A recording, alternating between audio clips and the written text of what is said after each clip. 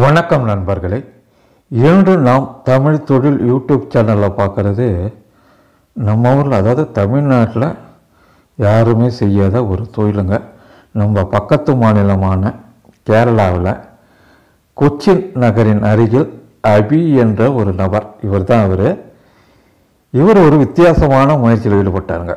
ஒரு பெங்களூரில் சாஃப்ட்வேர் இன்ஜினியராக வேலை செஞ்சார்.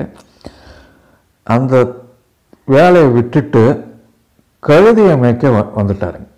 அப்படி தான் அவர் ஆரம்பத்தில் கிண்டல் பண்ணாங்களாம். ஏன்னா லட்சக்கணக்கான சம்பளம் வாங்கிட்டு இருந்தவர் அந்த வேலையில் அவருக்கு ஒரு இன்ட்ரெஸ்ட் இல்லை. ஸோ அதனால் ஏதாவது சொந்தமாக தொழில் செய்யணுன்ற ஒரு நம்பிக்கையில் கழுதைகளை வச்சு முதல்ல பண்ணைய ஆரம்பித்தாருங்க எல்லாருமே கேலியும் கிண்டலும் பண்ணாங்க.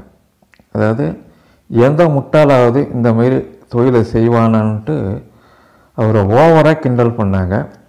அவர் பத்தொம்போது கழுதைகளை வாங்கி முதல்ல பண்ணைய ஆரம்பித்தார் எந்த அனுபவமும் இல்லை அவருக்கு.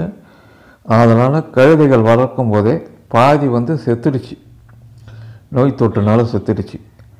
இருந்தாலும் மனம் தரலாமல் மருத்துவர்கள் அவர்களோட அறிவுரைகளை பெற்று மீண்டும் கழுதைகளை வாங்கி பண்ணையை நடத்த ஆரம்பித்தார் நாளடைவில் பார்த்தீங்கன்னா அவருடைய பண்ணையில் இன்றைக்கி செய்யக்கூடிய பொருளுக்கு முன்னாடியே பணத்தை கட்டி பொருளை வாங்குற அளவுக்கு டெவலப் ஆகிட்டாங்க கழுதப்பால் உங்களுக்கே தெரியும். தெருக்களில் கழுதைகளை கூட்டு வந்து கழுதப்பால் கழுதப்பால்னு கத்துவாங்க.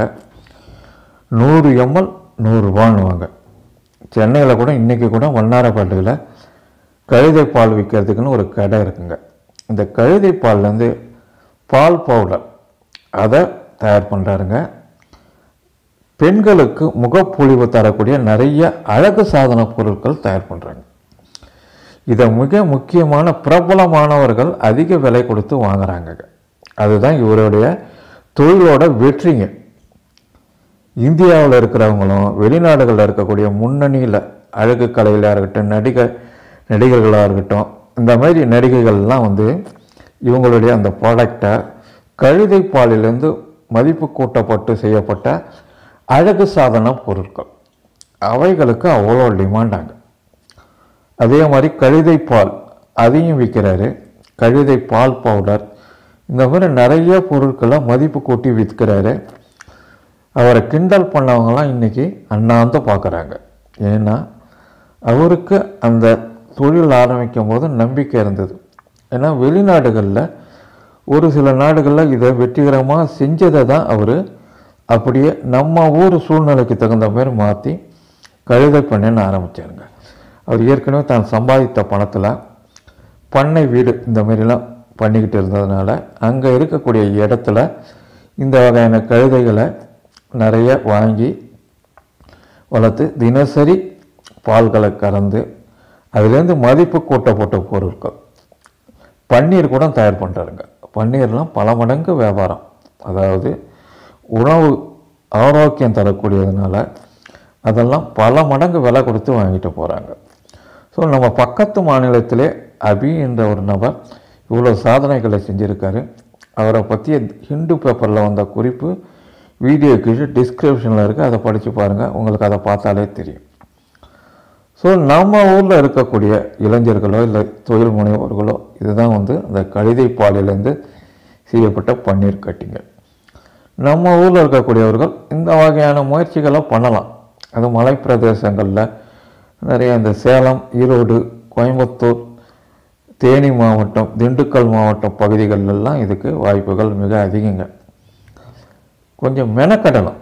அந்த மாதிரி அழகு காலம் பொருட்கள். அவருடைய பேர் வந்து அபி டால்பின் பியூட்டி ப்ராடக்ட்னு நிறைய விற்கிறாங்க ஸோ அந்த மாதிரி நாம் அதுக்கான பயிற்சிகளுங்காவது எடுத்துக்கிட்டு இந்த மாதிரி பண்ணைகளை நீங்கள் விற்கலாங்க கழுதை போல் ஆன்லைன்லேயும் விற்கிறாங்க அமேசானில் ஃப்ளிப்கார்ட்லேயும் விற்கிறாங்க அதுலேயும் நல்லா உங்களுக்கு லாபம் கிடைக்குதுங்க.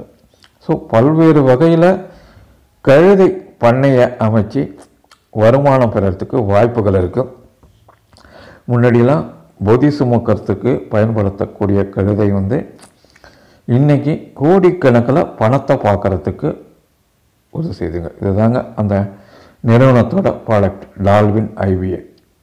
அந்த அபி என்றவர் தயார் பண்ணக்கூடிய பொருட்கள் எல்லாமே இன்றைக்கி சந்தையில் டிமாண்டாக இருக்குங்க. அவர் இன்னும் அதிகமான கழுதைகளை சேர்த்து பண்ணையை பெரிதளவில் விரிவாக்கம் செய்யறதுக்கு இருக்கிறார். இதுக்கு அவர் எதுவும் வங்கி லோன் இது பண்ணல சொந்த பணத்தில் ஆரம்பித்தார் ஸோ எதிர்காலத்தில் இந்த வகையான கழுதை பண்ணைகளுக்கு மானியத்திலும் கூடிய வங்கி கடன் கிடைக்கிறதுக்கும் வாய்ப்புகள் இருக்குங்க. ஸோ நம்ம ஊரில் யாராவது இது போன்ற பண்ணைகளை ஆரம்பிக்க விருப்பப்பட்டீங்கன்னா நேரடியாக கூட அவரை போய் தொடர்பு கொண்டு விளக்கங்கள் பெற்று ஆரம்பிக்கிறதுக்கும் வாய்ப்புகள் இருக்குங்க.